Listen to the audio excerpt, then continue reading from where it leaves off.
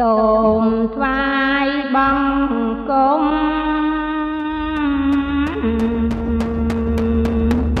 ព្រះសម្ពុទ្ធកម្មវិធីទស្សនាទានព្រះពុទ្ធសាសនា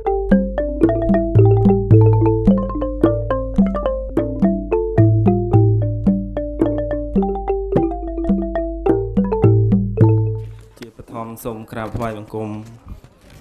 ព្រះដេចគុណគ្រប់ព្រះអង្គជាទីសក្ការៈសូមគោរពលោកស្រីអភិបាលរងស្រុកជាទីគោរព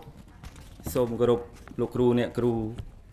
សិស្សានុសិស្សទាំងអស់ជាទីមេត្រីវិទ្យាល័យហ៊ុនសែនបរិបូរណ៍មានផ្ទៃដី1109ចុចអឺ 189ម៉ែត្រការ៉េស្ថិតនៅក្នុងអឺផ្លូវជាតិលេខ5និងចំណុចដៅចំគីឡូម៉ែត្រ122នៃផ្លូវជាតិស្ថិតនៅក្នុងភូមិកន្សែងឃុំគុនរងស្រុកបរិបូរណ៍ខេត្តកំពង់ឆ្នាំងសិស្សសរុបមានចំនួន1558នាក់ស្រី817នាក់ គ្រូមានចំនួន78នាក់ស្រី25នាក់មានថ្នាក់30ថ្នាក់ចែកជាពីរវេនសាលាមានចំណុះផ្នែកបឋមភូមិមកពីបឋមសិក្សាមាសជុំសម្ដេចមនីលបើកសេះស្លាប់សេរីនិងកំពង់អួរសាលាចំណុះផ្នែកទុតិយភូមិមកពីអនុវិទ្យាល័យឆ្នុកទ្រូ តពាំងច័ន្ទចកពេជ្រចង្វាពន្លៃនិងព្រះជីសវណ្ណការអនុវត្តមួយឆងមាសកន្លងមក មានដូចខាងក្រោមសិស្សមាននិទេសល្អ380នាក់ស្រីមាន222នាក់ល្អបង្គួរ501នាក់ស្រី259នាក់មធ្យម 474នាក់ស្រី237ខ្សោយ87នាក់ស្រី35សរុប1442នាក់ស្រី753នាក់ជាទីបញ្ចប់ខ្ញុំសូមគោរពជូនពរគណៈអធិបតីពុកម៉ែបងប្អូនសិស្សានុសិស្ស ឲ្យជួបប្រទេសតែពុទ្ធពរ4ប្រការ គឺអាយុវណ្ណៈសុខៈពលៈកំបីគ្លៀងគ្លៀនឡាយសូមអរគុណសូមអរគុណជាបឋមទូលព្រះបង្គំខ្ញុំបកណាសូមលំអត់លំអោនកាយក្រាបថ្វាយបង្គំអរទិដៅចំពោះគុណនៃព្រះរតនត្រ័យដែលជារតនៈដ៏ដងឧត្តមប្រសាខ្ពង់ខ្ពស់ សូមក្រាបថ្វាយបង្គំចំពោះសម្ដេចព្រះថេរានុត្តរៈគ្រប់ព្រះអង្គជាទីគោរពសក្ការៈនិងសូមក្រាបថ្វាយបង្គំបដិជ្ជប្រគុណដែលមានប្រវត្តិមាន ទាំងពីរព្រះអង្គនៅក្នុងវេលាពេលនេះផងដែរអនុញ្ញាតចម្រើនពរដល់លោកអាញាធរដែនដីពិសេសថ្ងៃនេះ សូមចម្រើនពរដោយសេចក្តីស្រឡាញ់ដ៏ជ្រាលជ្រៅចំពោះបងប្អូនទាំងអស់គ្នា សម្រាប់ទិវានេះថ្ងៃ1មិថុនា កុមារអន្តរជាតិរបស់យើងទាំងអស់គ្នាសូមតែដៃបបសាទរមួយបាទដែលថ្ងៃនេះសម្រាប់សាលាហ៊ុនសែនបរិបូរណ៍របស់យើង បានប្រារព្ធនៅកម្មវិធីដែលឲ្យឈ្មោះថាកម្មវិធី1មិថុនាសម្រាប់កុមារអន្តរជាតិ ប៉ុន្តែក្នុងនោះក៏បានផ្សារភ្ជាប់ជាមួយនឹងកម្មវិធីទស្សនាទានព្រះពុទ្ធសាសនាផងដែរពេលដែលដេចគុណមកដល់ទីកន្លែងនេះវិទ្យាល័យនេះដំបូងដេចគុណចាប់អារម្មណ៍ទៅនឹងទីនេះគឺមានរូបប្រសង់មួយអង្គដែលជាតំណាងអ្នកប្រាជ្ញរបស់យើងពោលគឺសម្ដេចព្រះសង្ឃរាជជួនណាតហើយមើលទៅអ្វីដែលជារឿងគួរឲ្យកត់សម្គាល់នោះ ដេចគុណក៏ចាប់អារម្មណ៍ទៅនឹងអេរយាប័តនិងការប្រព្រឹត្តរបស់បងប្អូនទាំងឡាយមួយចំនួននៅក្នុងវិទ្យាល័យនេះផងដែរតើបងប្អូនទាំងឡាយចាប់អារម្មណ៍ដោយដេគុណដែរឬក៏មួយយ៉ាងណាទី1សំណួរដែលគុណចង់សួរថាតើការស្លៀកពាក់ការរៀបចំអេរយាប័តរឹកពី ស័កសមទៅនឹងសិស្សដែលកំពុងទទួលបាននៅការអប់រំហើយឬនៅទី2អ្វីដែលដែលគុណចង់សួរទៅដល់បងប្អូននោះថាតើបងប្អូនបានត្រៀមខ្លួនហើយឬនៅ ដើម្បីទទួលយកលទ្ធផលនៃការសិក្សាដែលនៅក្នុងទីខាងមុខនេះ យើងនឹងត្រូវប្រឡងពិសេសគឺការប្រឡងថ្នាក់បាក់ឌុកនោះតែម្ដង ហើយបើប្អូនមិនទាន់បានត្រៀមខ្លួននៅឡើយទេ អ្វីដែលដែលគុណចង់ឲ្យបងប្អូនបានត្រៀមខ្លួននោះ គឺការតាំងចិត្តតាំងចេតនាដើម្បីខំសិក្សារៀនសូត្រទាំងអស់គ្នាឥឡូវដែលគុណសុំសួរសំណួរមួយ ហើយសំណួរនេះដែលគុណនឹងជូនរង្វាន់យ៉ាងច្រើនជាទីគប់ចិត្តគឺបងប្អូនអាចចង់បានអ្វីក៏បានផងក៏មិនដឹង សំណួរដែលគុណចង់សួរទៅដល់បងប្អូនថាតើលទ្ធផលនៃការសិក្សាលទ្ធផលនៃការប្រឡងរបស់ប្អូនថ្នាក់បាក់ឌុកខាងមុខនេះជាប់ឬក៏ធ្លាក់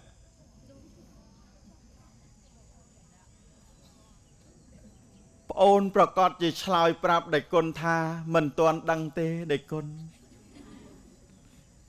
ហើយប្រសិនបើប្អូនឆ្លើយប្រាប់ដេគុណដូច្នេះ សំណួរសួរថាតើមូលហេតុអ្វី គឺអាស្រ័យទៅដោយសមត្ថភាព អាស្រ័យទៅដោយលទ្ធភាពនិងពេលវេលាមែនឬក៏មិនមែនអូនអូនទាំងអស់គ្នាដេចគុណថ្ងៃនេះហាក់ដូចជាអត់សូវស្រួលខ្លួនអូន ដោយសារតែនិមន្តមកតាំងពីម៉ោង3ភ្លឺតាំងពីភ្នំពេញតម្រាំមកដល់នេះដូចជារៀងតថតថយដូចជាមិនសូវស្រួលខ្លួនប៉ុន្តែ ក្រោយពីមកបានជួបបងប្អូន ក្រោយពីមកបានឃើញវត្តមានរបស់បងប្អូន ដែលមានវត្តមាននៅក្នុងថ្ងៃនេះដេចគុណមានកម្លាំងចិត្តសំបីតែដេចគុណប្រើប្រេងកាឡាជំនួយហើយក៏ដែរដោយសារអីដោយសារតែដេចគុណបានឃើញនិងបានឮនៅអវ័យដែលជាពាក្យពេចន៍ និងជាការផ្ដាំផ្ញើក៏ដូចជាអវ័យដែលជាទឹកចិត្តសន្តានរបស់កូនប្រុសនិងកូនស្រី ពិសេសគឺប្អូនដែលបានឡើងបដិញ្ញាចិត្តការពីព្រឹកមិញនៅក្នុងថ្ងៃទី1មិថុនានោះឥឡូវនេះដេចគុណសុំឲ្យប្អូនប្អូនទាំងឡាយក៏ដូចគ្នាដែរប្អូនលោកកំព្រាឪពុកលោកមាននៅភាពកំសត់នៅក្នុងសនានចិត្ត អ្វីដែលជារឿងសំខាន់រាប់ថាជាសិស្សក្រីក្រ ហើយក៏បានទទួលការឧបត្ថម្ភពីសាលារួមជាមួយនឹងសពបរសជននានាទាំងឡាយទាំងពួងផងដែរប៉ុន្តែសំណួរដែលគុណចង់សួរថា បើក្រីក្រខាងក្រៅគេអាចជួយបាន តែបើក្រីក្រខាងក្នុងតើនរណាអាចជួយបាន ពីព្រោះមានសិស្សមួយចំនួន លហឹកលហៈខាងក្រៅ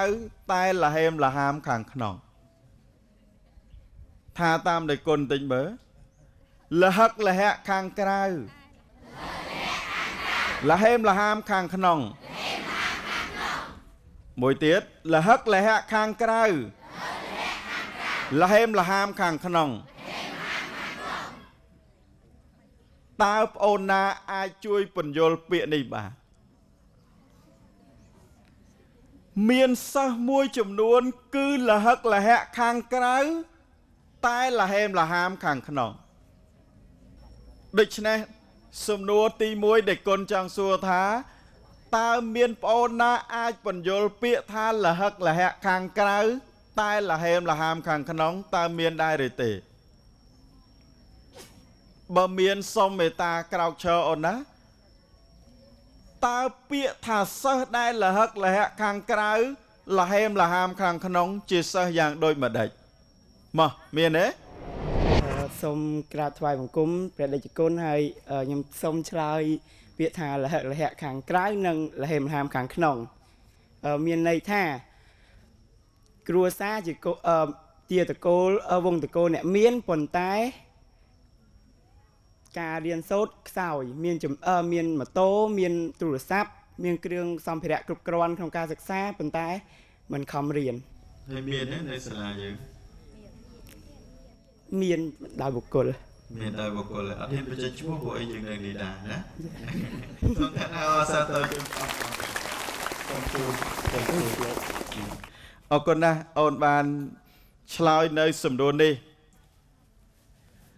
មានសិស្សមួយចំនួន គឺលហឹកលហៈខាងក្រៅ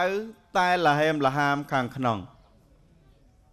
ឥឡូវតទៅដែលគុណសូមអរតនានិមន្តបដិជ្ជគុណមួយព្រះអង្គគឺសូមអរតនានិមន្តបដិជ្ជគុណព្រះអង្គផលចន្ទថេតឲ្យព្រះអង្គពន្យល់ថាតើសិស្សដែលលហឹកលហៈខាងក្រៅលហេមលហាមខាងក្នុង គឺសិស្សប្រភេទណាសូមនិមន្តទានចាស់ ជាបឋមខ្ញុំបកណាសូមនមស្ការក្រាបថ្វាយបង្គំចំពោះព្រះរតនត្រ័យទាំង3ដោយសេចក្តីគោរពជ្រះថ្លាសូមនមស្ការចំពោះព្រះមហាប៉ែនវិបុលដែលជានាយកប្រតិបត្តិនៃសមាគមត្រត្រង់ការបោះពុំនិងអប់រំសូមនមស្ការចំពោះព្រះមហាហង្សច័ន្ទបរិយជានាយកប្រតិបត្តិរងទី2នៃសមាគមត្រត្រង់ការបោះពុំនិងអប់រំ មួយអន្លើសូមចម្រើនពរលោកគ្រូអ្នកគ្រូក៏ដូចជាបងប្អូនសិស្សានុសិស្សទាំងអស់ដោយសេចក្តីរាប់អានដ៏ខ្ពង់ខ្ពស់ក្នុងថ្ងៃនេះដែរគឺជាវេលាឬក៏ជាឱកាសមួយដ៏ល្អសម្រាប់បងប្អូនសិស្សានុសិស្សទាំងអស់ដែល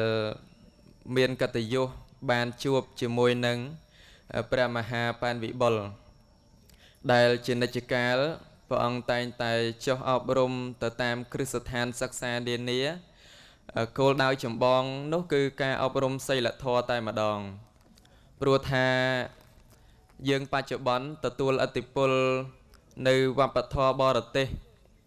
ហូរចូលច្រើនបើអញ្ចឹងហើយគឺដើម្បីជាការជោគឬក៏ការជួយចែវនៅអ្វីដែលអាក្រក់អាក្រក់ចេញ គឺមានតែការអប់រំទៅតាមគ្រឹះស្ថាន មានតែការបណ្ដុះគំនិត មានតែការចែករំលែកនៅសីលធម៌ក្នុងការរស់នៅនឹងឯងហើយអំបញ្ញមិញនេះព្រះអង្គបានសួរតកតងទៅនឹងលហឹកលហៈខាងក្រៅលហេមលហាមខាងក្នុងហើយបងប្អូនទាំងអស់គ្នា ច្បាស់ជាប្រកាសជាដឹងច្បាស់ហើយថាពាក្យហ្នឹងចង់សំដៅទៅលើអីតាមពិតទៅនៅក្នុងវ័យសិក្សានេះ អ្វីដែលសំខាន់អ្វីដែលជាកត្តាចម្បងសម្រាប់បងប្អូនទាំងអស់គ្នាហ្នឹងគឺការខិតខំប្រឹងប្រែងសិក្សារៀនសូត្រដើម្បីរក្សាវងតកូលខ្លួនឯងហើយដើម្បីស្វែងរកនៅចំណេះវិជ្ជាមកទុកដាក់នៅក្នុងខ្លួនព្រោះគេថាយ៉ាងម៉េចគេថាចូលព្រៃតននៅព្រឹកចង់សឹកតននៅក្មេងហ្នឹង អញ្ចឹងយើងទាំងអស់គ្នាហ្នឹងវ័យដែលនៅជាបឋមអវ័យនេះគឺបានន័យថាយើងហ្នឹងគឺមានវ័យមួយគឺជាវ័យនៅព្រឹក បានន័យថាពេលវេលាហ្នឹងវានៅវែងសម្រាប់យើងសិក្សារៀនសូត្រប៉ុន្តែបើសិនបើយើងមិនគិតទៅលើការសិក្សារៀនសូត្រមិនប្រឹងប្រែងស្រវាសតិញស្វែងរក នៅចំណេះដឹងតាន់ខ្លួននៅក្មេងគិតតែដើរពៀលាអាវាសែ ប្រកាសជាស្ដាយក្រោយជាមិនខានទេ ពាក្យបុរាណមួយគេលើកឡើងថាខំរៀនឲ្យបានខ្ពស់រក្សាឈ្មោះយុះមេបាហើយចុះបើយើងអត់បានរៀនយើងមិនត្រឹមតែមិនរក្សាឈ្មោះទេ យើងថែមតែថែមទាំងបង្អាប់ឬក៏នាំឲ្យកិត្តិយសគ្រួសារហ្នឹងអន់ថយថែមឡើងអញ្ចឹងនៅក្នុងភាពលហឹកលហៈខាងក្រៅនេះ បានន័យថាយើងដែលនៅរៀននេះសម្ភារៈប្រើប្រាស់មិនខ្វះលុយចាយក៏អត់ខ្វះម៉ូតូក៏មានជិះប៉ុន្តែសួរថាហេតុអីបានលហេមលហាមខាងក្នុងបងប្អូនស្គាល់អ្នកលហេមលហាមហ៎អ្នកលហេមលហាមហ្នឹងយើងនិយាយវាទៅក្រក់ស្ដាប់ណាពាក្យហ្នឹងប៉ុន្តែគ្រាន់តែចង់បញ្ជាក់ថា អ្នកដែលខ្វះនេះគឺតែងតែទៅសុំគេ តែងតែចង់បានរបស់គេណាទោះបីជាគេស្ដីឲ្យគេបន្តោសបង្អាប់យ៉ាងណាក៏មុខក្រាស់ទៅសុំដែរណាហ្នឹងអឺដេចគុណគ្រាន់តែចង់ប្រាប់អញ្ចឹងឯងវ័យសិក្សាក៏ដូចគ្នាដែរលហេមលហាមខាងក្នុងនេះចង់បានន័យថាដល់ពេលប្រឡងណែអញមើលដែរមកណាហ្នឹងឯងគឺអញ្ចឹងអត់មានចំណេះដឹងអត់មានបទពិសោធន៍នៅក្នុងខ្លួនបានន័យថា អ្វីដែលលោកគ្រូអ្នកគ្រូដាក់ឲ្យអត់តន្ទិញអត់សិក្សាអត់ស្វែងយល់ដល់តែពេលថ្ងៃប្រឡងបានទៅសុំពឹងពាក់គេឲ្យមិត្តភ័ក្ដិនឹងជួយហើយសួរថាមនុស្សអញ្ចឹងជាអ្នកបបោឬក៏ជាអ្នកដែលលហេមលហាមហើយបងប្អូនចង់ធ្វើជាអ្នកលហេមលហាមអត់អញ្ចឹងត្រូវខិតខំសិក្សាស្វែងយល់ដោយខ្លួនឯងកុំម្ដែងគេថា កបីបាត់ឬក៏គោបាត់ទៅធ្វើរបង ដល់ថ្ងៃចិត្តប្រឡងទៅខំរៀនហើយរៀនមិនចេះហើយបងប្អូនចង់រៀនចេះទេរាល់ថ្ងៃហ្នឹងដេចគុណប្រាប់ពីវិធីសាស្ត្ររៀនចេះដើម្បីរៀនចេះបងប្អូនត្រូវកាត់បន្ថយ Facebook កុំលេងពេកហើយកុំពិបាកចិត្តឲ្យរឿងស្មាតដូរលុយនឹងអត់បានអានឹងរៀនអត់ចេះទេអញ្ចឹង តួនាទីឬក៏កតាបកិច្ចរបស់សិស្សានុសិស្សហ្នឹងទី1គឺខិតខំសិក្សារៀនសូត្របានន័យថាធ្វើជាកូនល្អសម្រាប់លោកគ្រូអ្នកគ្រូទី2គឺស្ដាប់ដំបូលមានឪពុកម្ដាយដើរតួនាទីជាកូនល្អសម្រាប់មេដាបៃតាទី3ដើរតួនាទីជាមិត្តភក្តិល្អគឺចេះជួយ ចែករំលែកបានន័យថាប្រសិនបើមិត្តភក្តិជួបទុក្ខលំបាកបងប្អូនគប្បីចេះជួយណាគប្បីជួយយកអាសាហើយប្រសិនបើមិត្តភក្តិនឹងដើរផ្លូវខុសបងប្អូនគប្បីណែនាំថាការងារទាំងអស់ហ្នឹងមិនស័កសមនឹងយើងជាសិស្សនោះទេព្រោះយើងកតបកិច្ចចម្បងគឺការសិក្សារៀនសូត្រនឹងឯងអញ្ចឹងយល់ទេបងប្អូនបាទអញ្ចឹងភាពលហឹកលហៈខាងក្រៅ គឺយើងត្រូវត្រូវធ្វើយ៉ាងម៉េចត្រូវឲ្យខ្លួនឯងនឹងលហឹកលហៈខាងក្រៅហើយប៉ុន្តែកុំឲ្យលហេមលហាមខាងក្នុង បានន័យថារៀបចំខ្លួនឯងនឹងឲ្យល្អសម្រាប់ជាសិស្សហើយមានចំណេះដឹងសមជាសិស្សផងដែរបើសិនបើរៀនអីគឺចេះនឹងមិនមែនសម្រាប់តែពឹងពាក់អ្នកដតីនោះទេអញ្ចឹងខ្ញុំកណាសូមចូលរួមមានប្រមាណប៉ុណ្ណេះសូមបកគលទនទីឲ្យព្រះអង្គកណាសូមរតនា ស្បិតមនុស្សឥឡូវយកខុសធ្វើត្រូវយកឈួតធ្វើជាអំពើអាក្រក់លេក់លក់លីលា ប្រហើនពៀនពៀអាងមាសអាងប្រាក់អាងព្រើលអាងប្រាជ្ញអាងកោងអាងកាចអាងកាប់អាងចាក់អាងទាត់អាងវាយអាងជើងអាងធាក់អាងគុកច្រវាក់ម៉ាស៊ីនកាត់កតើមែនឬក៏មិនមែន ដេចគុណថាអ្នកដែលមិនបានអប់រំចោះមិនចាំបាច់ពោលទៅនិយាយទេ តែរហូតទៅដល់មានដល់ទៅសិស្សសានៅសិស្សមួយចំនួននៅក្នុងសាលាគាត់អាងមាសអាងប្រាក់អាងពូជអាងអំបោ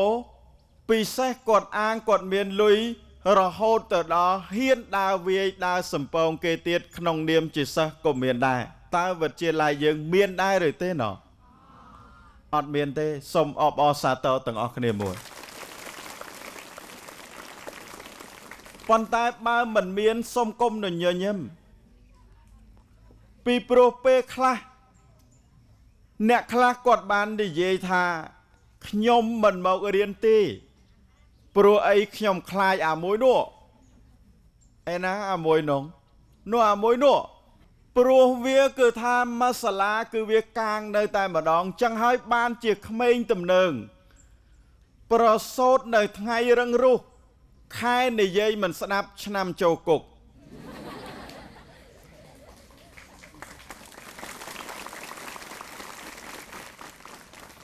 ក្មេងទំនើងប្រសោតនៅថ្ងៃរឹងរុះខែនិយាយមិនស្ដាប់ឆ្នាំចូលគុក មានទីស្នាក់ការកណ្ដាលនៅគុកព្រៃសរអូតេដៃទៀតណាហើយមានសាខា24ខេត្តក្រុងឲ្យតែកន្លែងណាគុកជាសាខារបស់គាត់ទាំងអស់ហើយបើតាមដឹងនៅហ៊ុនសែនបរបោយើងប្រហែលជាចង់បង្កើតសាខាផងមិនដឹង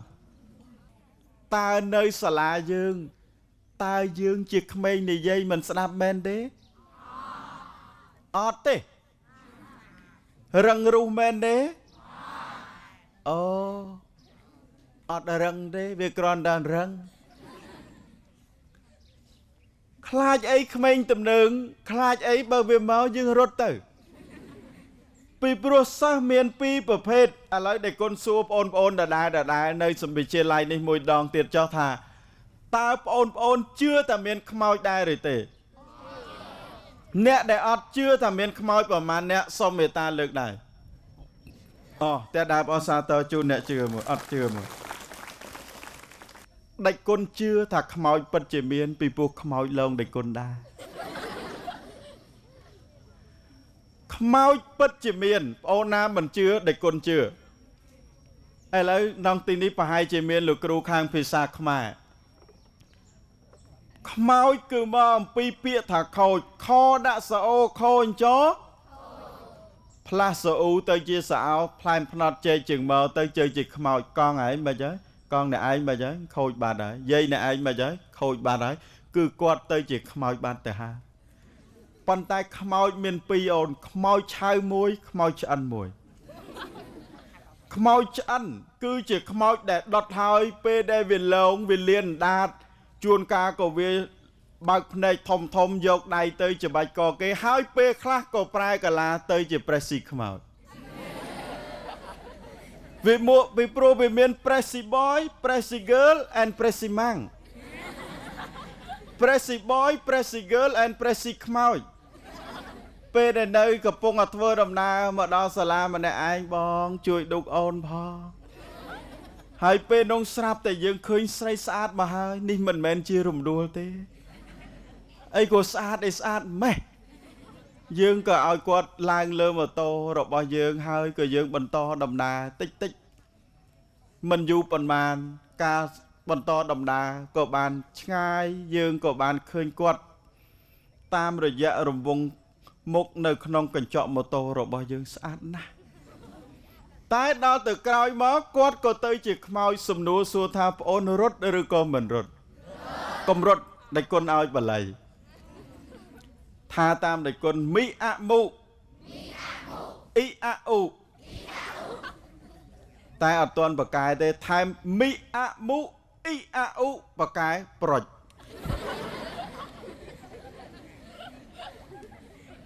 បកែបកែប្រុចនឹងតើអូន មីអមុអ៊ីអអ៊ូបើអត់ទាន់ប្រុចគឺអត់ទាន់ទេតែកម្រិតនេះបើសិនជាខ្មោចឆៅអខ្មោចឆ្អិនចុះបើខ្មោចឆៅនេះមានសិស្សសានសិស្សមួយចំនួនជាសិស្សខ្មោចខ្មោចវាធ្វើឲ្យគេខ្លាច តែសិស្សមួយចំនួនក៏ធ្វើឲ្យគ្រូនិងសិស្សដទៃទៀតខ្លាចតើខ្មោចឬក៏មិនខ្មោចអូក្នុងទីនេះមានសិស្សខ្មោចដែរណោះ ចេះប្រែកាឡាមកពីផ្ទះក៏ឲ្យមកកាផ្លេមកដល់នេះប្រែកាឡាទៅជាមនុស្សមកកាផ្លេទៀតតើសិស្សប្រភេទនឹងខ្មោចឬក៏មិនខ្មោចគេកំពុងតែស្ដាប់ការអប់រំគេកំពុងតែស្ដាប់គ្រូបរៀនឯងនឹងមកកេះគេមកលៀនអណ្ដាដាក់គេតើខ្មោចឬក៏មិនខ្មោច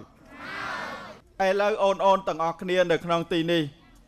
តើប្អូនចង់คลายទៅជាសិស្សទំនើងដែរឬទេចង់ទៅអូនណៃសុំវល់ទៅអូនណៃចុះបើអត់មិនក៏ចាំបាច់ទៅស្ទាក់គេវាយមុខសាលាអេមិនដែលទេនេះដេចគុណមិនមែននិយាយទៅកាន់បងប្អូននៅទីនេះទេបងដេចគុណនិយាយទៅកាន់រំដួលទេព្រោះវាជារឿងរបស់រំដួលឥឡូវបងអូនទាំងអស់គ្នាពិចារណាមើលថាជឿទេ ថាមានសិស្សមួយចំនួន បានវាយគ្នាដណ្ដើមគ្នាសង្សារនៅ ក្នុងសាលារៀនតើមានដែរឬទេគុំដណ្ដើមអូននៅឯនេះច្រើនណាស់ណែប្រមាណអ្នកនេះច្រើនណាស់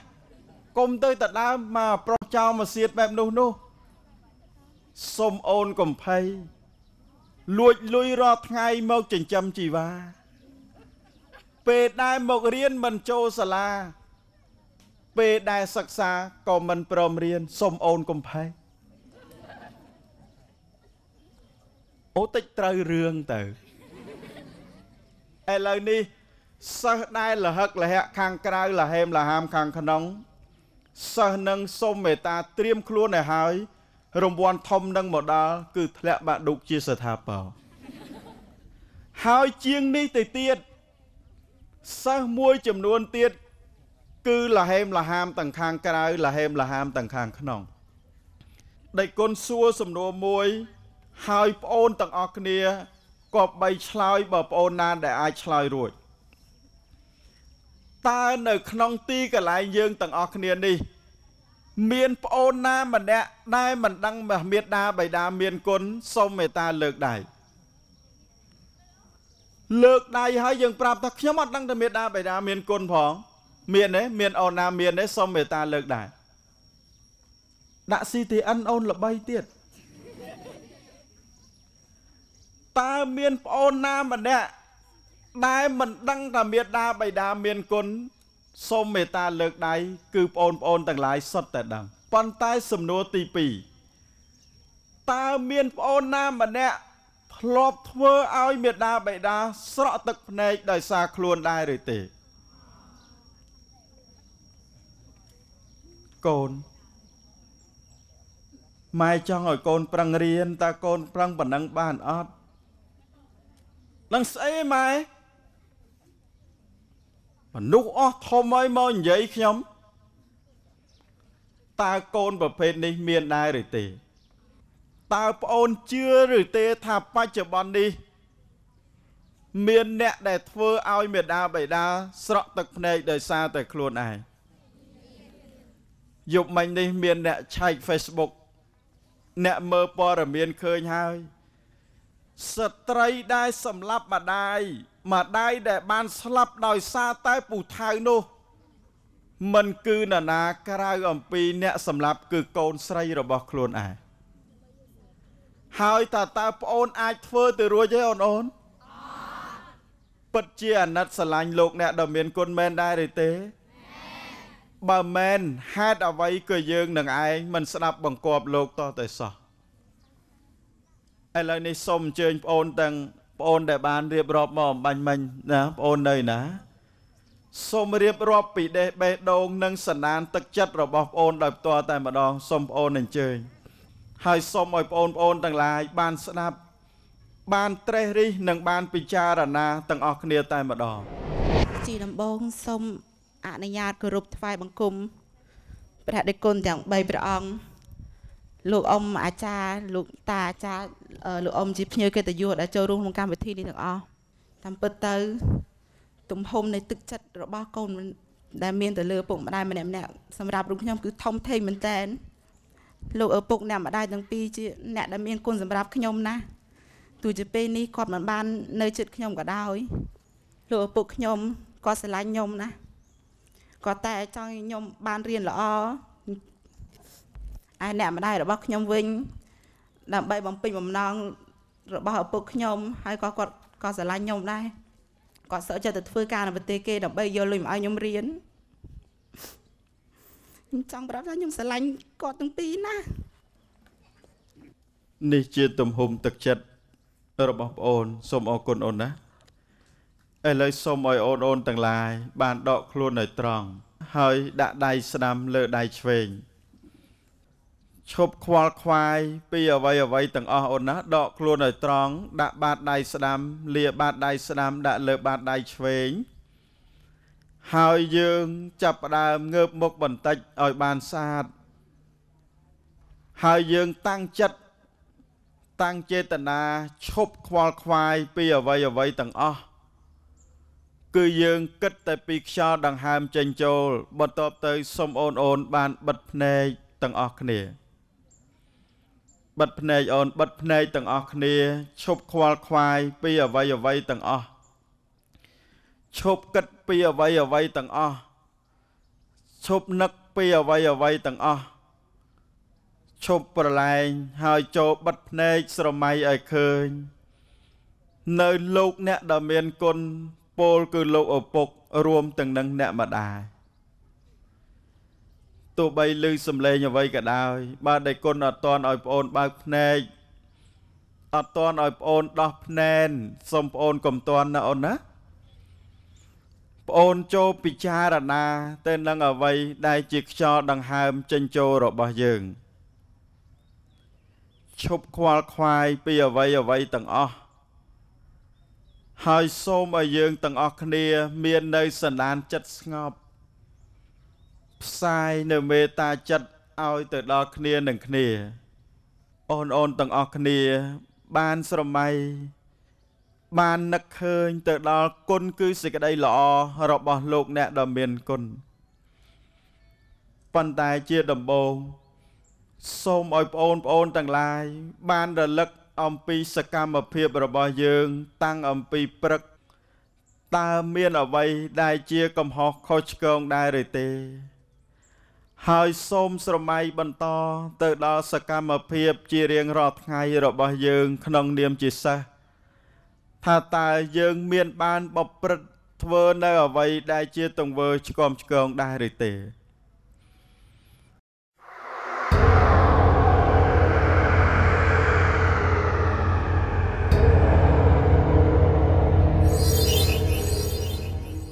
សូមថ្វាយបង្គំ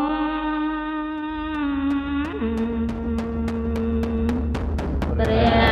សម្ពុទ្ធកម្មវិធីទស្សនាទានព្រះពុទ្ធសាសនា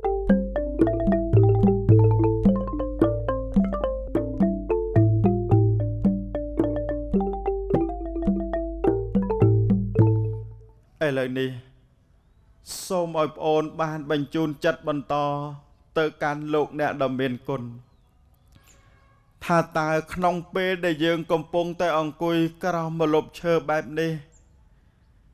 ថាតើយើងកំពុងតែអង្គុយមានសភាពបែបនេះតើលោកឪពុកអ្នកម្ដាយរបស់យើង លោកកំពុងតែធ្វើអ្វីតើលោកបានលះបង់អ្វីខ្លះដើម្បីយើងក្នុងនាមជាកូន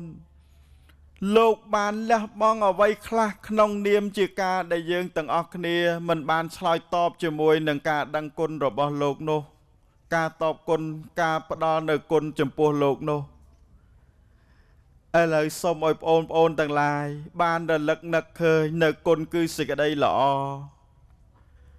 ដោយជាពាក្យថាម៉ែជាពាក្យមានន័យសំខាន់ខ្លាំងណាស់ ប្រជុំគុណក្រាស់ក្រៃជាងធរណីពាក្យម៉ែពីរោះក្របលើប្រតិពីល្អដោយគិរីពេញដោយរុក្ខាព្រៃភ្នំមានសัตว์ជាគ្រឿងលម្អភរិយាបវរលំអភស្តាទ្វីបលោកល្អស្រស់ក៏ព្រោះសូរិយាសัตว์ក្នុងលោកាល្អព្រោះមានម៉ែរាល់ថ្ងៃ កូនដឹងថាម៉ែនិងពុកខំប្រឹងប្រែងសពគ្រប់ប្រការដើម្បីកូនទាំងឡាយកូនដឹងថាម៉ែនិងពុក ធ្វើនៅអ្វីអ្វីជាច្រើន ដើម្បីកូនកូនទាំងឡាយកូនដឹងថាម៉ែនិងពុក បានលះបង់នៅអ្វីអ្វីជាច្រើនសម្រាប់កូនម៉ែហ៊ានពលីសំបីតែជីវិត ក៏ព្រោះតែសេចក្តីស្រឡាញ់របស់កូនចៅប្រុសស្រីទាំងឡាយហេតុដូច្នេះបានជាលោកពោលថាគួអាសូចិត្តអាណិតម៉ែអង្គប្រាំអើយបួនខា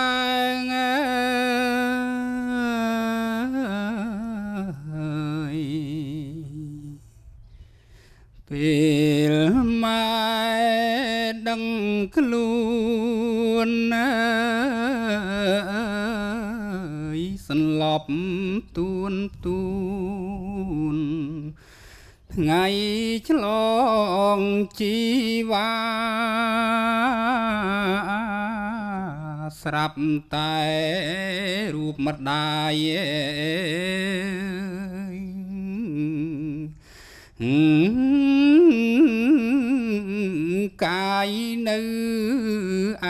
ឯ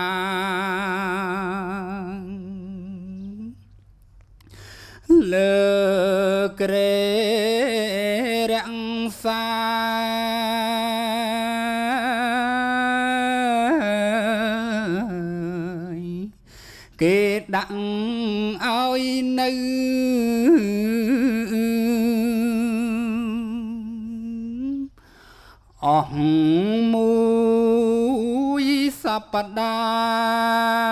ហ៍អើយម៉ែសែនជឺផ្សា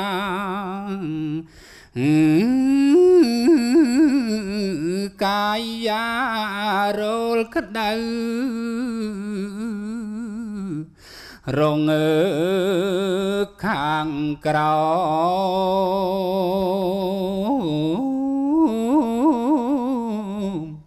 ក្រមសន្ធើ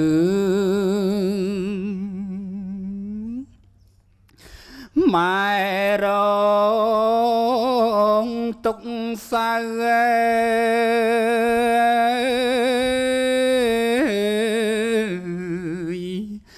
នៅក្នុងភ្លើងនោះ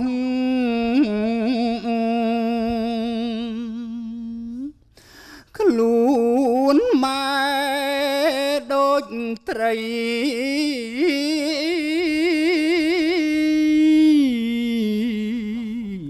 ឆ្អើទាំងយប់ថ្ងៃ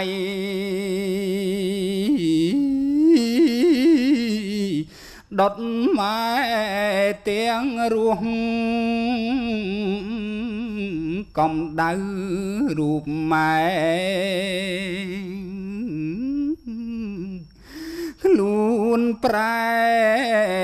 ក្រៀមខ្សោះ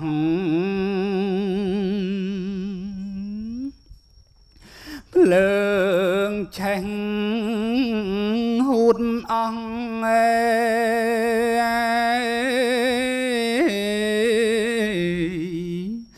ខ្លួនប្រានលហិតលហើយ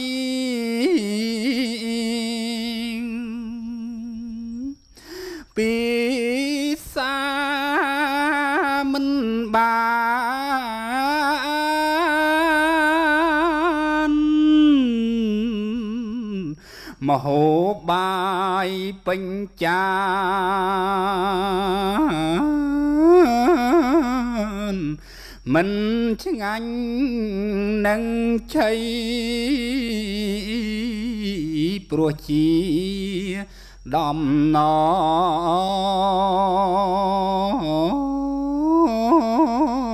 មថ្នាក់ថ្ន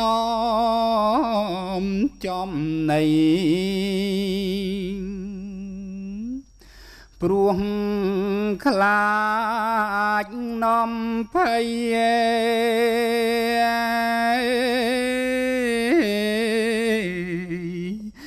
ថ្ងៃសូនសង្ខា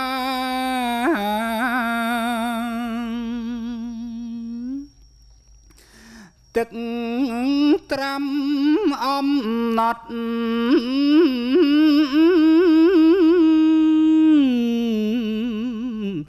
ប្រៃលវីងជួចត់ ត្រូវតែពីសាកាលដើមធ្លាប់ផឹក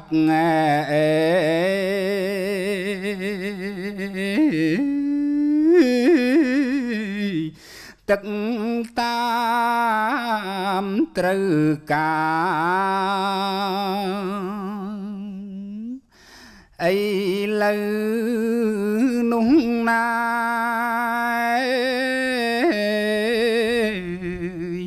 ប្រៃលវីញរាល់ថ្ងៃ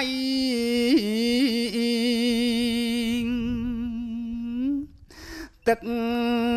ត្រាំខ្មៅក្រឹប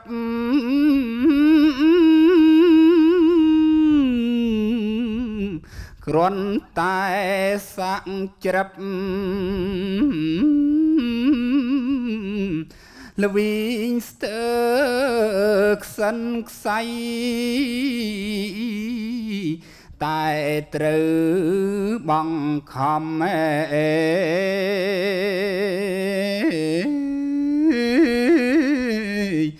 បារម្ភខ្លាចភ័យ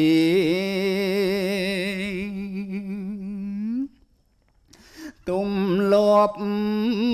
កូនខ្ចីអើយបំរុងសុខភាពកូនកូនបានដឹងទេថា បើរាល់ថ្ងៃនេះ ម៉ែឪប្រឹងដើម្បីតែកាពះពីមាត់ពីរបស់ម៉ែនិងពុកនេះមិនជាលំបាកឡើយប៉ុន្តែម៉ែគិតឲ្យពុកបារម្ភទៅដល់សុវត្ថិភាពដល់សុខភាពទៅដល់អនាគតរបស់កូន ថាតើកូនម៉ែទៅអនាគតនឹងទៅជាយ៉ាងណា ជាមនុស្សដែលរស់នៅចុះក្នុងសង្គមឬក៏មួយយ៉ាងណា កូនទៅពីសាលាវិញ កូនសួរម៉ែថាម៉ែមានអីហូបជួនកាលទៅដល់បើកទៅសម្លមិនឆ្ងាញ់កូនអត់សប្បាយចិត្តកូនតែងតែត្រូវការ កូនតែងតែចង់បាននេះ តែងតែចង់បាននោះម៉ែនិងពុកមិនដែលបដិសេធនឹងអ្វីដែលកូនប្រាថ្នាកូនចង់បានឡើយ កូនចង់បានកង់កូនត្រូវការម៉ូតូកូនត្រូវការសម្ភារៈហឺហាកូនដឹងទេពេលខ្លះម៉ែទៅខ្ចីបុលគេ យកប្លង់ផ្ទះប្លង់ដីទៅបញ្ចាំគេ ដើម្បីឲ្យតែកូនបានរស់ដើម្បីឲ្យតែកូនបានសុខដើម្បីឲ្យតែកូនបានសុបាយម៉ែនិងពុកមិនចង់បានអ្វីពីកូនឡើយ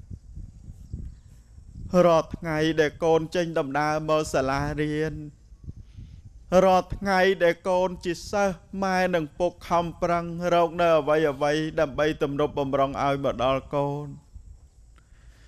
ម៉ែមិនដែលត្អូញត្អែម្ដងណាប្រាប់កូនទេ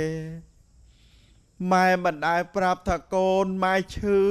ម៉ែលំបាកម៉ែមានជំងឺអ្វីអ្វីគឺម៉ែមិនដែលត្អូញប្រាប់កូនឡើយ ព្រោះតែអ្នកណាព្រោះតែកូន ព្រោះតែអ្នកណាព្រោះតែជីវិត ព្រោះតែជីវិតរបស់ម៉ែពលគឺកូននឹងឯងហើយហេតុដូច្នេះហើយម៉ែសូមឲ្យកូនប្រឹងរៀនសូមឲ្យកូនជាមនុស្សល្អកុំដើរលេងពៀវាអាវាសែកុំជាមនុស្សដែលសង្គមគេស្អប់ខ្ពើមកុំជាមនុស្សដែលសង្គមគេមិនត្រូវការនោះឡើយ ឥឡូវនេះបងប្អូនទាំងឡាយបានរលឹកនឹកឃើញនៅគុណគឺសេចក្តីល្អរបស់លោកអ្នកដ៏មានគុណកិច្ចនៃការរលឹកមានចំនួនប្រមាណប៉ុណ្ណេះហើយក្នុងនោះដំណក់ទឹកភ្នែកក៏បានហូរស្រក់មកជាច្រើន ដែលជាសញ្ញាបញ្ជាក់អំពីការនឹកឃើញនៅគុណរបស់លោកអ្នកដ៏មានគុណ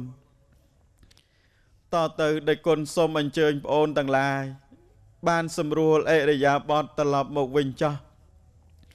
សូមឲ្យប្អូនទាំងឡាយបានបត់ជើងត្រឡប់មកវិញ ហើយលើកដៃសំពះនឹកឃើញទៅដល់គុណគឺសេចក្តីល្អរបស់លោកអ្នកដ៏មានគុណឥឡូវសូមឲ្យប្អូនទាំងឡាយដែរមាននៅយោបល់មាននៅអ្វីដែលគាត់ស្រក់ទឹកភ្នែកថាមូលហេតុអីសូមអញ្ជើញបងខាងស្មូតយកទៅឲ្យប្អូនប្អូនដែលគាត់ ស្រក់ទឹកភ្នែកម្នាក់ម្ដងម្នាក់ម្ដងពីព្រោះខ្ញុំនឹករឿងទាំងឡាយដែលគាត់ធ្វើល្អល្អសម្រាប់ខ្ញុំ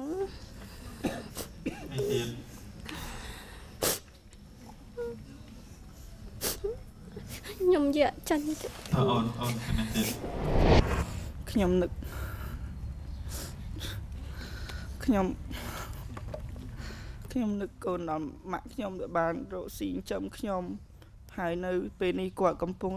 លួចអីនៅកំពុងដើម្បីចិញ្ចឹមយកលុយមកចិញ្ចឹមខ្ញុំនៅខ្ញុំបានមករៀននៅលើបានទីខ្ញុំកញ្ញាកណាយំមកពីខ្ញុំនឹកដល់កូនឪពុកម្ដាយរបស់ខ្ញុំគាត់រកស៊ីលំបាកដើម្បីយកលុយមកឲ្យខ្ញុំរៀនសូត្រ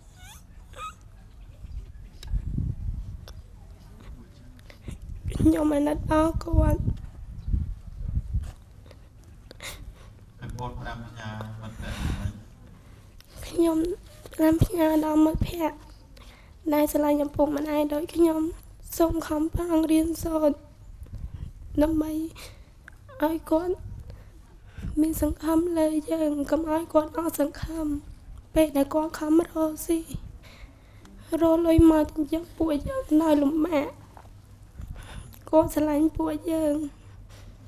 គាត់មិនចង់ឲ្យពួកយើងដើរទៅផ្លូវអាក្រក់ព្រោះខ្ញុំអាណិតដល់មុតម៉ែខ្ញុំ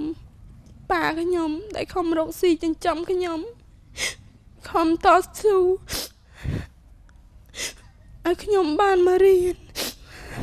ឥឡូវសូមឲ្យបងប្អូនទាំងឡាយបានលើកដៃសំពះ លើកដៃសំពះហើយអោនមុខអូនណាលើកដៃសំពះហើយអោនមុខបន្តិចស្រមៃឲ្យឃើញលោកអ្នកដ៏មានគុណក្នុងទីចំពោះមុខយើងហើយសូមឲ្យបងប្អូនទាំងឡាយបានថ្វាយបង្គំលោក3ដងថ្វាយបង្គំម្ដាយឪពុក3ដង ហើយសូមខមាទោសចំពោះគាត់បើប្អូនណាដែលត្រឡប់ទៅវិញ អាចធ្វើបានប្អូនហើយល្អវិសេសណាស់ ពីព្រោះពេលនោះយើងនឹងឃើញនៅទឹកភ្នែករបស់លោកឪពុកឬក៏ទឹកភ្នែករបស់អ្នកម្ដាយថាអោកូនអាត្មាអញហេតុអ្វីក៏កូនល្អម៉េះទោះបីជាម៉ែនិងពុកខំប្រឹងនឿយហត់ប៉ុណ្ណេះហើយក៏ដោយណាកូន តែបើបានឃើញនឹងទង្វើ គឺអំពើគឺសេចក្តីល្អនេះអ្វីដែលជាការហត់នឿយទាំងអំបាលមានមុខតែនឹងត្រូវបានរលាយបាត់ហើយ ប៉ុន្តែឥឡូវនេះសូមឲ្យបងប្អូនទាំងឡាយនៅនៅក្នុងទីនេះបង្អោនចិត្តទៅដល់លោកអ្នកដ៏មានគុណកុំអៀនដៃកុំខ្មាស់អូន ពីព្រោះលោកអ្នកដ៏មានគុណក៏លោកមិនហ៊ាននិយាយប្រាប់អូនថាកូនអើយថ្វាយបង្គំម៉ែមកកូនអើយថ្វាយបង្គំឪមកកូនអើយគោរពម៉ែមកកូនអើយគោរពឪមកលោកមិនហ៊ាននិយាយទេ លោកអៀនដៃលោកហ៊ានមាត់ ឥឡូវនេះសូមបងប្អូនទាំងឡាយបានថ្វាយបង្គំ3ដងទាំងអស់គ្នាសូមអូនអូនអោនថ្វាយបង្គំពេលដែលគុណថាកាយវន្តនាអូនថ្វាយបង្គំអោនអោនទាំងអស់គ្នាណាហ៎កាយវន្តនា1កាយវន្តនា2កាយវន្តនា3បងប្អូនទាំងឡាយបានខមាទោសចំពោះលោកអ្នកដ៏មានគុណហើយ បានដឹងគុណចំពោះលោកអ្នកដ៏មានគុណបើទោះបីជាមិនទាំងអស់សូមឲ្យប្អូនបានចងចាំថាដំណក់ទឹកភ្នែកដែលយើងស្រក់ចុះក្នុងថ្ងៃនេះ គឺដើម្បីលោកអ្នកដ៏មានគុណតទៅសូមអរតនីនិមន្តព្រះមហាហងច័ន្ទបរិយមួយព្រះអង្គទៀតមុននឹងបញ្ចប់កម្មវិធីរបស់យើងសូមព្រះអង្គដែលជារៀមច្បង ក៏ដូចជាគ្រូបាអាចារ្យមានអ្វីត្រូវផ្ដាំផ្ញើទៅដល់បងប្អូនទាំងឡាយដូច្នេះសូមបងប្អូនទាំងអស់លើកដៃសំពះឲ្យបានល្អតាំងចិត្តមុននឹងបញ្ចប់ពីព្រោះអ្នកដែលចង់ប្រឡងជាប់រឿងដែលសំខាន់គឺត្រូវពេញចិត្តនឹងអ្វីដែលខ្លួនឯងរៀនព្យាយាមប្រឹងប្រែងរៀនសូត្រមានចិត្តនឹងឯងកុំឲ្យរាយមាយ ហើយពិសេសចេះត្រួតពិនិត្យមើលសកម្មភាពអរិយាបថការរៀនសូត្ររបស់ខ្លួនឯងផងដែរឥឡូវសូមរតនានិមន្តបដិជ្ជបុគ្គលទេណាសូមអនុមោទនាគណៈជាបឋមនេះដែរទូពាក្យបង្គំខ្ញុំបកណាជាអង្គម្ចាស់សូមលើកកំបងអញ្ជលីលំអត់លំអោនកាយវិជាចិត្តក្រាបនមស្ការទិសដៅចំពោះគុណនៃព្រះរតនត្រ័យដោយសេចក្តីគោរពដ៏ខ្ពង់ខ្ពស់ ហើយនឹងសូមនមស្ការចំពោះព្រះមហាប៉ែនវិបុលដែលជាព្រះប្រធាននៃសមាគមត្រួតត្រងការបពុំនិងអប់រំហើយនឹងសូមធ្វើសេចក្តីរាប់អាន ចំពោះលោកម្ចាស់ប្អូនផលចន្ទថេតដែលជាសមាជិកនៃសមាគមត្រួតត្រងការបពុំនិងអប់រំដែលមានវត្តមាននៅក្នុងទីនេះដែរហើយសូមចម្រើនពរដល់លោកគ្រូអ្នកគ្រូហើយនិងបងប្អូនទាំងអស់ដែលមានវត្តមាននៅក្នុងឱកាសវេលានេះ ដោយថ្ងៃនេះគឺជាពេលវេលាដ៏មានតម្លៃសម្រាប់បងប្អូនជាទីបំផុតនៅក្នុងឆាកជីវិតរបស់បងប្អូនគឺបងប្អូនមានភ័ព្វសំណាងយ៉ាងក្រៃលែងដោយបងប្អូនបានទទួលការអប់រំបញ្ជ្រាបនៅ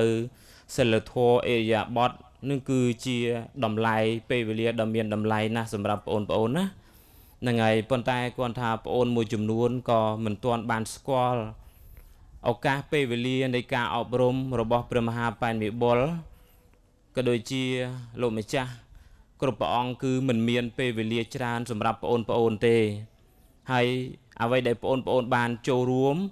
គឺជាជាជាឱកាសមួយដែលល្អសម្រាប់បងប្អូនយកទៅនៅក្នុងការប្រតិបត្តិយកទៅនៅក្នុងការអនុវត្តនៅក្នុងដំណើរជីវិតរបស់បងប្អូន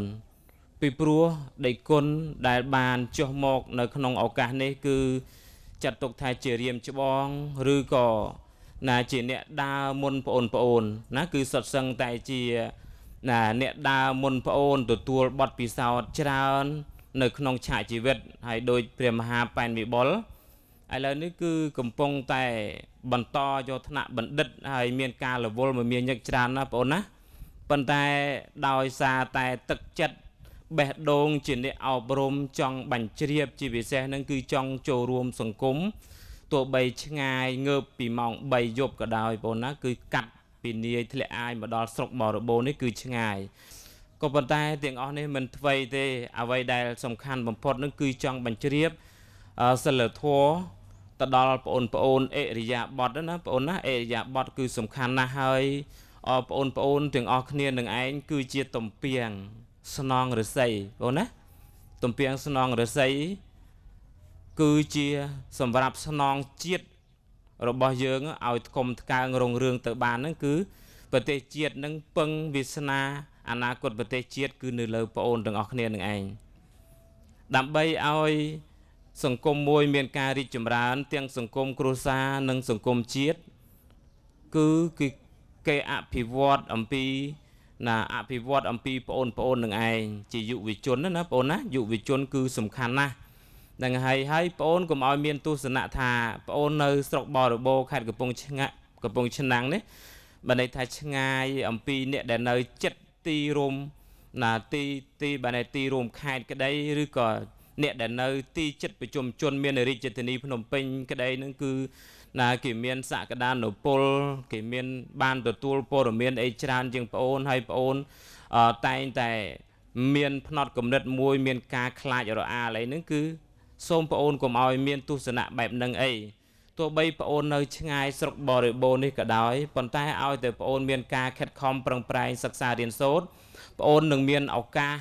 មានពេលវេលាដែលប្អូនអាចចាប់យកនៅពេលវេលាដ៏មានតម្លៃឲ្យឆាកជីវិតរបស់ប្អូនបានទទួលនៅភាពជោគជ័យបានណាបងត្រូវគិតចឹងណាហ្នឹងហើយការទទួលជោគជ័យគឺមិនមែនអ្នកដែលនៅសុទ្ធសឹងតែជាអ្នកនៅរាជធានីភ្នំពេញហើយអ្នកដែលកំពុងឆ្នាំងស្រុកបរិបូរនេះមិនបានទទួលជោគជ័យនោះគឺមិនមានទេណាបងណាត្រូវគិតចឹងឲ្យតែបងខំប្រឹងរៀនគ្រឹះដែលសំខាន់បំផុតគឺពីខាងក្រោមនឹងឯង ពីខាងក្រោមបងត្រូវរំលឹកកិច្ចការសិក្សារៀនសូត្ររបស់បងមិនមែនដល់ពេលថ្ងៃនេះរៀនខ្មែរហើយដល់ពេលយប់ឡើងហ្នឹងគឺអត់មានមើលសភៅសោះហ្នឹងដើម្បីមានចម្ងល់ឬក៏អ្វីតាក់ទិនទៅនឹងភាសាខ្មែរនឹងឯងមកសួរលោកគ្រូអ្នកគ្រូហ្នឹងគឺការរៀនដូចនេះគឺមិនបានទទួលជោគជ័យទេបងណាត្រូវរំលឹកមេរៀនណានិងរូបមន្តណាដែលយើងត្រូវទន្ទិញគឺយើងត្រូវទន្ទិញឲ្យចាំនឹងមាត់ ប្អូនមានឱកាសនៅពេលដែលប្អូនមានកម្លាំងមានក្រឹសពីខាងក្រោមនឹងហើយប្អូនឡើងទៅដល់ណាក៏អត់បាក់ក៏អត់ដួលដែរបងណាប្អូនមិនមែនត្រឹមមានឱកាសនៅក្នុងស្រុកតែប៉ុណ្្នឹងទេ នៅក្នុងប្រទេសប៉ុណ្្នឹងទេឲ្យតែយើងមានសមត្ថភាពគ្រប់គ្រាន់យើងអាចដើរទៅនៅក្នុងពិភពលោកបាន មិត្តភ័ក្តិដែលគុណច្រើនណាបងប្អូនដែលគេបានទៅបន្តការសិក្សានៅជប៉ុនក្តី ទៅពង្រៀនម៉ាឡេស៊ីក្តីឥណ្ឌូនេស៊ីក្តីអ្នកខ្លះនៅជប៉ុនអ្នកខ្លះនៅម៉ាឡេស៊ីហើយឌីគុណក៏ជាអ្នកស្រុកឆ្ងាយដោយប្អូនចឹងដែរណាបងណាគឺឌីគុណនៅកំពង់ធំហើយឌីគុណមិនសូវមានសំណាងដោយប្អូនចឹងទៀតផងណាការឌីគុណរៀនគឺអត់មានសាលាអីត្រឹមត្រូវល្អអញ្ចឹងទេណាហើយក៏ពុំមានផ្លូវជាតិល្អជិះដូចប្អូនអញ្ចឹងដែរគឺខ្សាច់បងប្អូនណាខ្សាច់ជិះពីខាងនេះកលាច់ទៅខាងនោះជិះពីខាងនោះកលាច់ទៅនេះ ហើយដេគុណបានរៀននៅប្រសក់ដោយបងប្អូនអញ្ចឹងគឺនៅរៀនបានតែត្រឹមថ្នាក់ទី8ទេណាបងប្អូនណានឹងបងប្អូនដេគុណរៀនបានថ្នាក់ទី8ទេដោយសារទី1គឺជីវភាពគ្រួសារណាពុំមានលទ្ធភាពសម្រាប់ផ្ដល់ឲ្យដេគុណបន្តការសិក្សានៅភាពជាគរិយាដូចបងប្អូនប៉ុន្តែភាពអំណត់និងភាពការតស៊ូដែលគុណមកចេញចាក់គ្រួសារមកដើម្បីបន្តការសិក្សារហូតមកដល់សពថ្ងៃនេះដោយសារភាពតស៊ូភាពអំណត់នឹង ណាដែលគុណបានទៅជាគ្រូគេណាបងណាឥឡូវនេះគឺជាគ្រូបណ្ដុះបណ្ដាលនៅខាងផ្នែកឧត្តមសិក្សានៅសាកលវិទ្យាល័យមួយ ដែលនៅក្បែរសាលសន្តិចតុមុខនេះដោយសារអីគឺភាពអំណត់បងណា មានតែការអំណត់ហើយនឹងការតស៊ូនឹងឯងដែលធ្វើឲ្យយើងឈានពីដំណើរមួយទៅដំណើរមួយអ្វីដែលសំខាន់បំផុតគឺបងអូនត្រូវតស៊ូមានឆន្ទៈនៅក្នុងការសិក្សារៀនសូត្រ ណាមានឆន្ទៈហើយគឺយកចិត្តទុកដាក់នៅក្នុងការសិក្សារៀនសូត្រនេះហ្នឹងហើយដើម្បីឆ្លើយតបទៅនឹងការដឹងគុណម្ដាយឪពុករបស់យើងគឺអត់មានចង់បានអ្វីពីប្អូនទេបងអូនណាចង់បានដែលសំខាន់បំផុតហ្នឹងគឺអិរិយាបថរបស់ប្អូននឹងអេយ៉ាបត់សម្ដាប់ធ្នាប់សំរុំចេះគោរពលោកគ្រូអ្នកគ្រូចាស់ព្រឹទ្ធាចារ្យណាចេះជួយយកចិត្តទុកដាក់ការងារឪពុកម្ដាយម្ដាយឪពុកគាត់សប្បាយចិត្តណាស់ ណាមិនស្មើនឹងណាលើកតំណែងឲ្យគាត់ទៅជាសេដ្ឋីឲ្យទៅជាអុកញ៉ាគឺមិនស្មើនឹងតម្លៃដែលបងប្អូនបានស្គាល់អំពីគុណរបស់គាត់នោះទេហើយនឹងបងប្អូនខំប្រឹងសិក្សារៀនសូត្រនេះហើយគឺម្ដាយឪពុកដែលចង់បានជាពិសេសគឺលោកគ្រូអ្នកគ្រូតែម្ដងដែលគាត់ខំប្រឹងបណ្ដោះបណ្ដាលប្អូននឹងគឺចង់បានឲ្យប្អូនរៀនទៅ ណាបានប្រឡងជាប់គ្រប់គ្រប់គ្នាហើយទទួលបានចំណេះដឹងជោគជ័យនឹងគឺគាត់សប្បាយណាស់លោកគ្រូអ្នកគ្រូជាពិសេសគ្រូនិយុនឹងគាត់មានមុខមានមាត់នៅសាលាណាវិទ្យាល័យហ៊ុនសែនបរបោបើសិនបានជាប់ចំណាត់ថ្នាក់លេខ1ទូទាំងប្រទេសទៀតហ្នឹងគឺសាលាហ្នឹងមានកិត្តិស័ព្ទកិត្តិនាមល្អណាស់ដោយវិទ្យាល័យស៊ីសវត្តថ្ងៃមុនណាបងគឺ3នាក់សិតតែស្រីស្រីបានមេដៃមាសណា ហ្នឹងគឺដោយសារពួកគាត់ខំប្រឹងរៀនណាហើយគាត់មិនមែនជាអ្នកមានទេគាត់អ្នកក្រដែរប៉ុន្តែខំប្រឹងសិក្សារៀនសូត្រទៅគាត់បានទទួលមេដៃមាសហើយម្ដាយឪពុកគាត់ស្រក់ទឹកភ្នែករំភើបណារំភើបនឹងអ្វីដែលគាត់ខំប្រឹងចិញ្ចឹមបីបាច់ថែសារកូនហើយកូនបានទទួលមេដៃមាសយកទៅឲ្យគាត់នឹងគាត់គ្មានអ្វីរំភើបដែលដែលកូនបានទទួលជ័យលាភីដូចនេះទេ អញ្ចឹងទោះបីថាប្អូនមិនបានទទួលមេដៃមាសក៏ដោយឲ្យតែប្អូនទាំងអស់គ្នាខំប្រឹងឲ្យបានជាប់នៅបាក់ដប់នៅពេលខាងមុខនេះគ្រប់គ្រប់គ្នាគាត់ក៏សប្បាយចិត្តដែរណាបងណាសប្បាយចិត្តតែគុណអត់មានអីចូលរួមច្រើនទេគ្រាន់តែប៉ុណ្្នឹងណាសារសំខាន់សំខាន់ខ្លះខ្លះ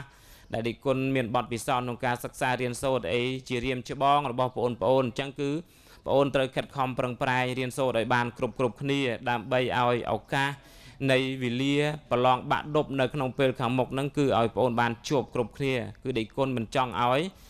ឃើញវត្តមានបងអូនណាមួយហ្នឹងគឺនៅបន្តថ្នាក់បាក់ដប់ជាលើកទី2ទៀតទេណាហ្នឹងហើយហើយបងអូនអដេកគុណជូនពរឲ្យបងប្អូនទាំងអស់ណាសូមឲ្យបងប្អូននៅវិទ្យាល័យបរិបូរនេះនឹងឲ្យបានជាប់បាក់ដប់គ្រប់គ្រប់គ្នាកំបីអខានឡើយ ណាសូមប្រគេនកម្មវិធីទៅដល់ព្រះមហាបញ្ញវលវិកណាគុណសូមអរគុណដល់គុណចាស់ហើយក៏កម្មវិធីរបស់យើងក៏បានមកដល់ទីបញ្ចប់ផងដែរថ្ងៃនេះដែលគុណខំនិមន្តមកពីឆ្ងាយ ដើម្បីចូលរួមចំណែកជាមួយបងប្អូនដេចគុណគ្មានអ្វីក្រៅតែអំពីចូលរួមសូមឲ្យបងប្អូនទាំងឡាយកុំឲ្យចាញ់ស្រមោចអូនណាកុំធ្វើជាសត្វរៃ មានបងប្អូនមួយចំនួនធ្វើជាសត្វរៃរដូវរំហើយមកដល់គិតតែនាំគ្នាហាច់ហាសបាយអត់រកចំណីដល់ទៅរដូវភ្លៀងមកទៅខ្ចីចំណីពីសមោចសមោចថាមិនអោយទេយ៉ាងណាបងប្អូនទាំងឡាយក៏ដូចគ្នាអូនអូនកុំអាងខ្លួនស្អាតអាងខ្លួនល្អយកភាពភ្លើតភ្លើនរបស់ខ្លួនឯងដែលត្រូវសិក្សារៀនសូត្រនេះយកទៅធ្វើនៅអ្វីដែលជារឿងមិនគប្បីមិនប្រពៃឲ្យសោះ ដល់ទៅដល់ចាស់ទៅ គេនាំគ្នា មានលុយមានកាក់គេមាន ប្រាក់មានកាក់ចាយវាយើងបែរជាអត់ហើយអូនអូនអាចឃើញទាំងអស់បងប្អូនមិនចាំបាច់តែគុណប្រាប់ទេចឹងបានថាល្មមយើងដឹងខ្លួនហើយអូន បើយើងមិនចាប់ផ្ដើមជំនះឧបសគ្គពីខ្លួនយើងទេតើនរណាជាអ្នកជំនះឧបសគ្គឲ្យយើងបានយើងមើលមកលុប ដើមច័ន្ទគិរី ឬក៏យើងទាំងអស់គ្នាដែលឲ្យធ្វើថាអំពិលបារាំងនេះតែមួយដើមពីរដើមទេអាចឲ្យជាមលុបដល់យើងបានប៉ុណ្ណឹងចុះតម្រាំដល់កូនប្រុសស្រីទាំងឡាយម្នាក់ពីរនាក់ដែលល្អម្ដាយឪពុកបានសេចក្តីសុខប៉ុណ្ណាអូនចាំពាក្យដែលគុណផ្ដាំឲ្យបងប្អូនទាំងឡាយបានស្វែងយល់ថា ចូលកុំធ្វើជាចំណែកនៃបញ្ហា ចូលធ្វើជាចំណែកនៃដំណោះស្រាយដែលគុណសួរទៅដល់ប្អូនតូចមួយមុននឹងបញ្ចប់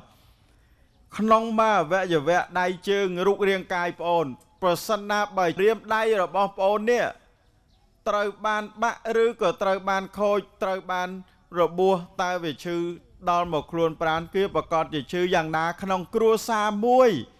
បើមានកូនខូចតែម្នាក់ កុំថាម៉ែអើយសบายចិត្តអូនបានប្រមាណក៏អត់សบายចិត្តដែរពិសេសបងប្អូនស្រីស្រីអូនណារក្សាតម្លៃថ្លៃថ្នូរឲ្យបានអូនកុំភ្លើតភ្លើនផ្លិចខ្លួនអត់បានប្រយោជន៍អីទេតតែយើងចប់មានអនាគតល្អហើយប្អូនប្រុសប្រុសក៏ដូចគ្នា មានកម្លាំងជួយធ្វើការងារម៉ែឪសាលាមានកិច្ចការងារអីអីប្រឹងប្រែងដេគុណមានតែពាក្យប៉ុណ្ណឹងទេជាពាក្យផ្ដាំផ្ញើ ហើយជឿថាការខិតខំប្រឹងប្រែងរបស់បរិជ្ជគុណអាណាព្យាបាលទាំងឡាយពិតជាមិនអិនប្រយោជន៍នោះឡើយពិសេសថ្ងៃនេះមានលោកគ្រូនាយកពិសេសគឺលោកស្រីអភិបាលនៃគណៈអភិបាលរងស្រុករបស់យើង ជាងនេះទៅទៀតគឺលោកអ្នកគ្រប់គ្រងសាលាលោកតាណែលោកតាដឹងលោកតាអញ្ចឹងចោះរៀងចំណាស់ហើយលោកខំប្រឹងប្រែងពេលឃើញអញ្ចឹងទៅលោកសប្បាយចិត្តណាស់លោកចង់បានដូច្នេះសូមឲ្យយើងទាំងអស់គ្នា ទទួលបាននៅសេចក្តីសុខសេចក្តីចម្រើនសម្រាប់កម្មវិធីទស្សនាទានព្រះពុទ្ធសាសនានៅក្នុងវេលាពេលនេះនៅនាវិទ្យាល័យហ៊ុនសែនបរិបូរសូមបញ្ចប់តែប៉ុណ្ណេះសូមអនុមោទនា